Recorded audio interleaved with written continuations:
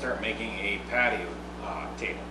I want a table that I can put out on the deck out in front of my house that can support at least an eight foot umbrella, maybe a 10 foot, I don't know yet. I've got an eight footer, so we're gonna start with that one. Uh, I got some plywood, I got a pipe, I got concrete form.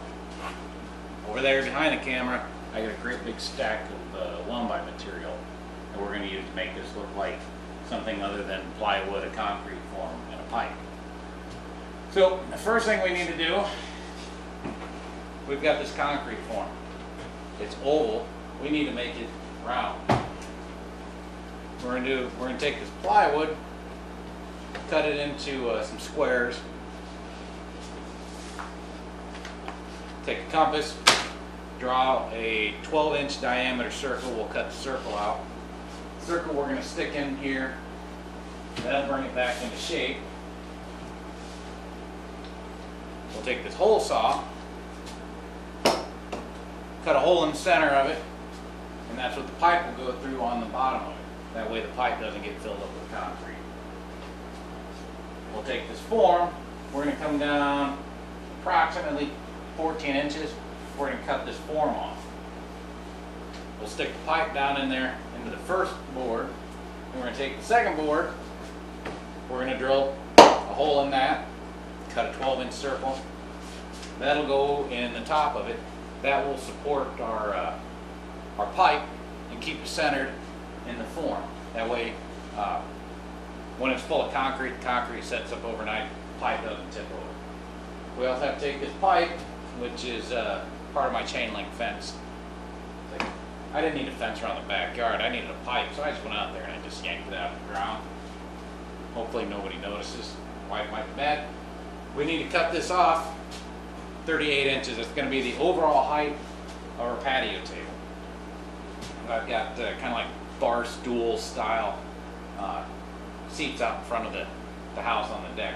38 inches is the same height as the rail around my house, so it'll be a perfect height for. So let's go ahead and cut these, we'll make the circles, we'll prep our form, cut the pipe, then I'll go out and uh, fill this with concrete.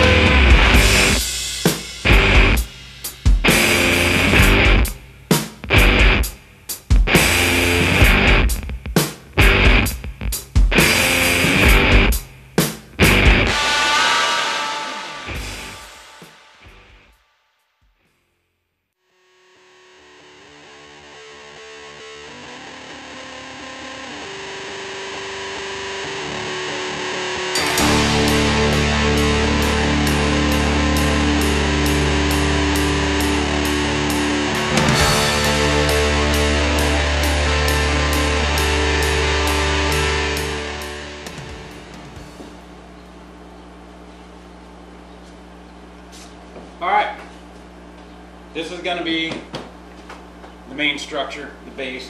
This is what's gonna provide the weight. I'm gonna go out and fill this with concrete. And then I'm gonna build this up with wood and make it look like, I don't know, something. Not really working off of plans. I don't work off of plans. I hate, I hate blueprints. Uh, using blueprints, to me, you might as well just go to freaking work. It just takes all the, the fun and, and joy out of doing something like this. I like getting an idea in my head and then just working off of whatever crazy going on up here. You know, if I can knock back the voices, I can get to the idea that I got. I waste a lot of lumber because my ideas don't always pan out. Uh, but if you make a mistake off of an idea up here, that's just a creative design change. If you make a mistake off of a blueprint, it means you're an idiot. You can't follow blueprints. So I'm going to go out, I'm going to fill this with concrete. I won't bother showing you that because it's just about a bag and a half of concrete. We're going to dump in a wheelbarrow, mix with water, and dump it in here. We'll let this sit up over overnight, and then we can uh, start forming wood around it.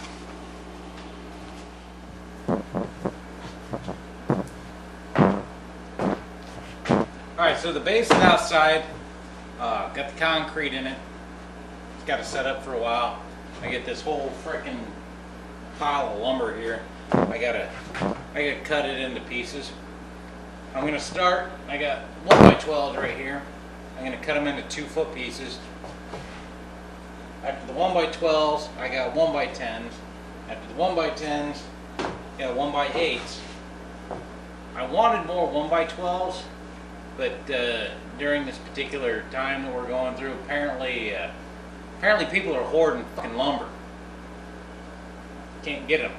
There was only four of them at the goddamn big box store that I went to. So we're gonna cut a whole bunch of pieces into sections, and then we'll start stacking them. We're not gonna worry about uh, running through a planer. We don't care if they're square.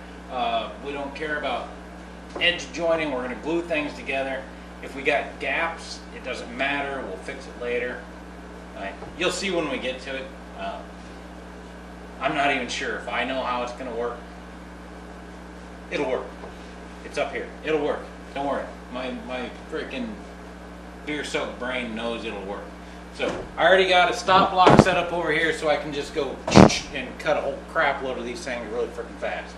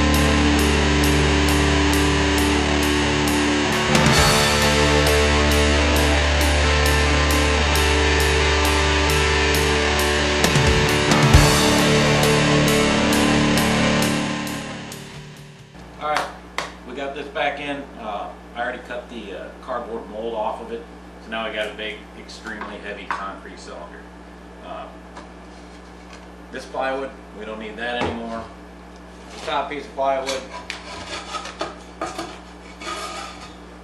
we won't need this anymore. We're going to use this as a uh, pattern though to cut holes in the rest of my board when I start putting over this.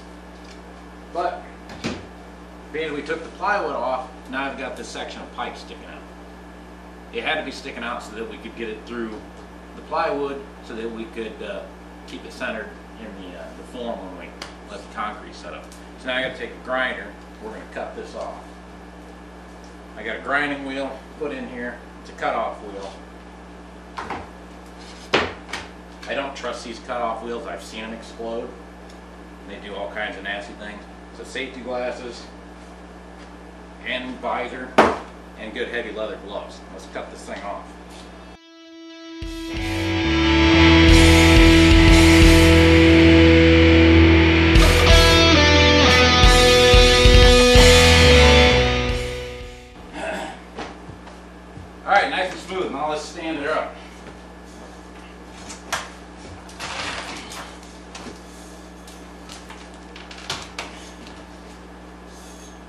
All right, and there's our base. Uh, pipe's gonna hold the uh, umbrella, obviously. Uh, we'll have to come back through and we're gonna paint this uh, concrete cylinder with some uh, Drylok paint, to keep moisture from getting in there and eventually cracking it. But when we're done with this, you won't see this base at all. It's gonna be completely covered in wood. Nice thing is I'm designing this uh, to where the wood going across it will be completely removable, so we can take it off during bad weather, put it in storage during the winter so it'll last a long time. So now we gotta just uh, continue making our stacks of lumber. I got a whole bunch already made up, glued up. Now we gotta see if we've got enough.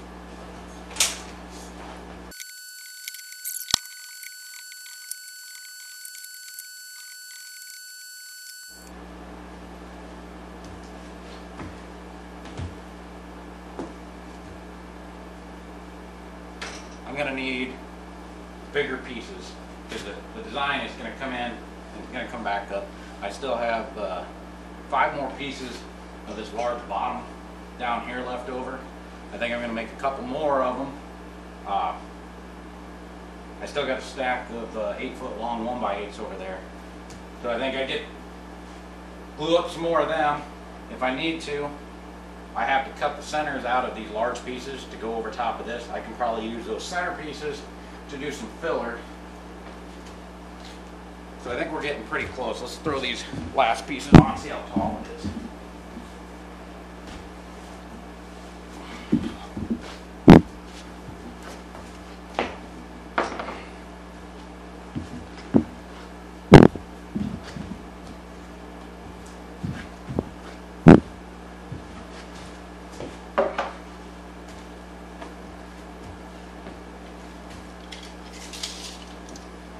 So I need to go up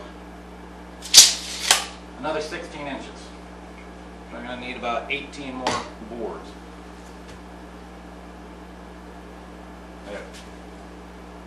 I should have enough once I start cutting the centers out of these. Let's start.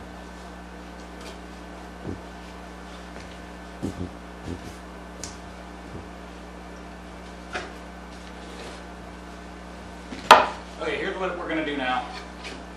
This is the top piece off of our mold. We're gonna use that as a pattern to be able to cut holes in all these individual pieces of one by material that I've been stacking up. We're gonna have to cut this a little bit larger so it'll slide nice and easily down over top of our concrete cylinder. And then we'll just keep cutting holes and stacking it and stacking it and stacking it. And that's what we're gonna use as our exterior of the base. Now we're gonna have to cut this well on the outside of this pattern to make sure it will fit on here. Something else we're gonna do is we're gonna we're gonna remove some of this excess wood because we're gonna power carve this thing. So we're just kind of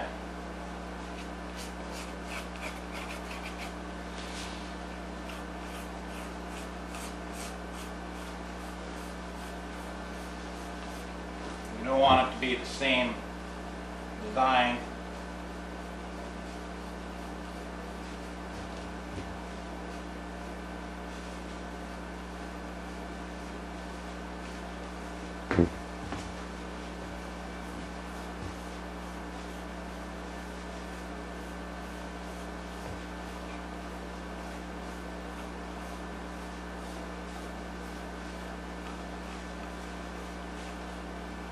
And we'll cut that all out. And then we'll maintain some sort of uh, similarity between each one of the boards going up. And we'll just kind of shrink the size and that'll give us a narrow, we're gonna make kind of a, a tree trunk design going up.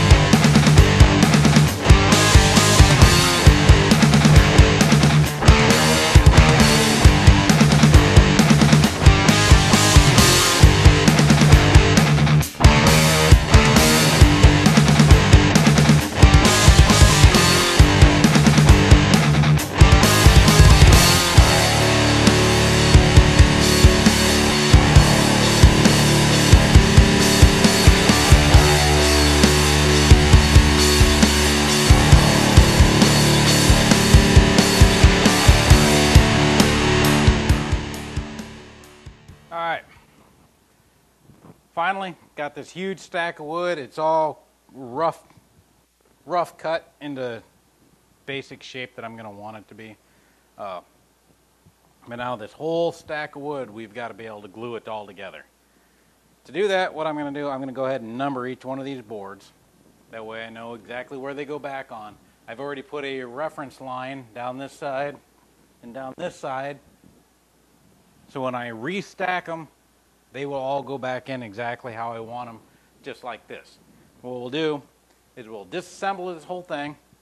We'll take the concrete base that's submerged in here in this, in this pedestal of wood, put it down onto the floor, and then we can start reassembling. And we'll do probably six boards at a time, cover them in glue, and we'll uh, start restacking, clamp them together, six at a time. Once they're dry, put six more on there, clamp them together.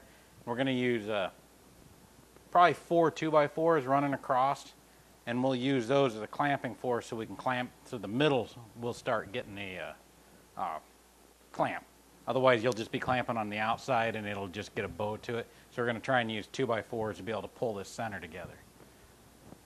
Got to get this whole stack glued together. Once it's glued together, then we can start power carving and take this weird obelisk looking freaking thing and turn it into, hopefully, to look like an old tree. If it doesn't turn into an old tree, then it's just uh, about uh, $150 worth of uh, wasted lumber.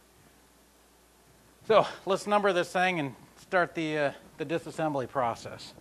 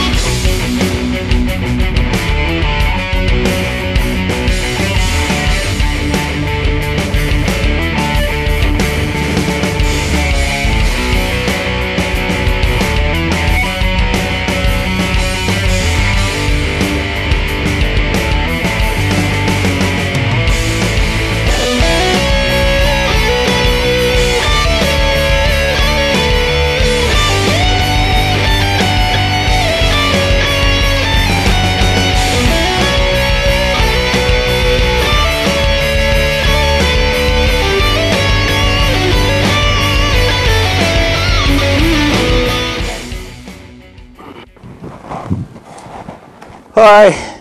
So the actual, the base of the uh, patio table slash umbrella stand is done. 120 pounds of concrete with uh, the corner post out of my backyard chain link fence. That's going to hold the umbrella. This is going to be the decorative exterior right now. Uh, to be honest, when I lifted this down off the bench, I probably don't need this concrete because holy crap, this probably weighs 250 pounds. There's so much lumber in here. But what's going to happen to this, we're going to go ahead and power carve this. We're going to try and turn it into uh, something that looks looks like a tree. I don't know. it might end up looking stupid as hell and it'll just get thrown on a burn pit. Uh, I hope it don't. I hope it turns out looking really cool. I hope the, the, the weird rolling around in my head actually comes out to turn out something pretty cool. But once we get it all carved, and I'm going to put a coating on there, probably Bondo or something, and then I'm going to make a tabletop for it. The tabletop is just going to be a nice big round uh, top that I'm going to uh, stain and then put uh, an epoxy resin uh, UV protectant coating over top of it. And it was supposed to be meant to be, this can lift off of here, but with as heavy as it is and all the glue squeeze that's in here, it's a son of a bitch to get it on and off the pipe.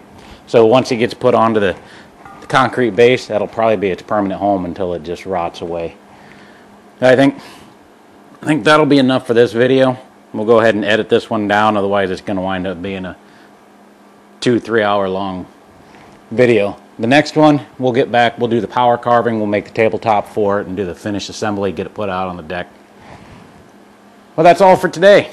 Thanks for watching. Don't forget to subscribe, turn on notifications, hit that like button, even if you didn't like it. Thumbs up, thumbs down, doesn't matter. Go ahead and just hit them. I'll see you next time.